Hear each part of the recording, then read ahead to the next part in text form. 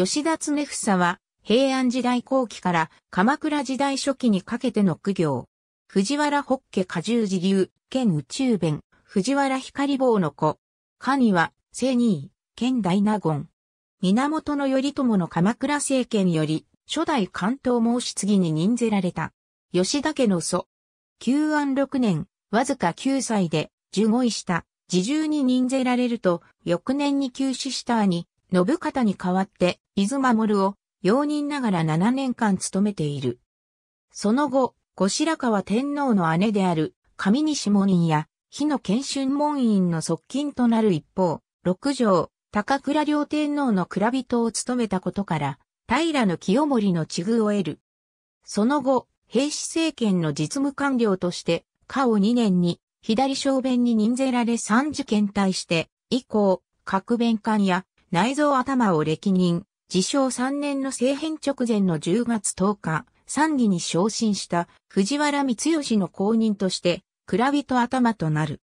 やがて、安徳天皇が即位して、高倉上皇が陰性を開始すると、蔵人頭と新院の陰別当を兼務した。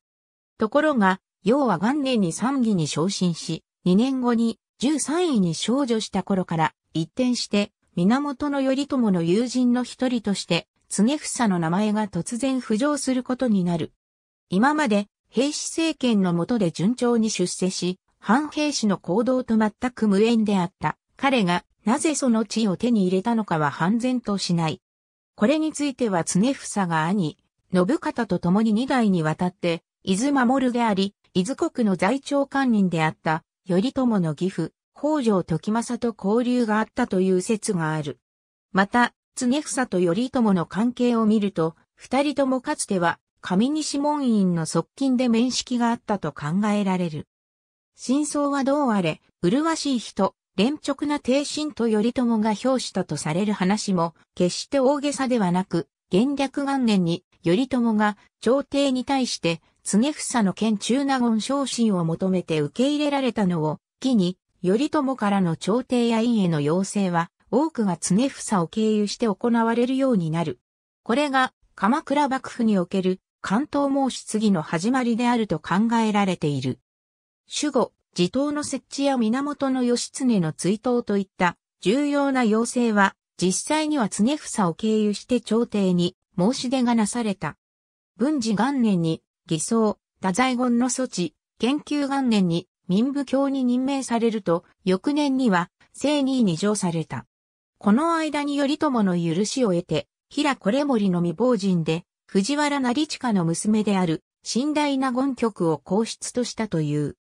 研究6年には中納言に昇進し、同9年には県大納言にまで昇進するも、翌年に頼朝が没すると、常房もまた体調を崩すようになり、正治2年に出家して、教練と合するが、間もなく病死した。日記として、喫記が伝わっている。また、文治2年10月と、研究6年1月に大規模な歌合わせを行っている。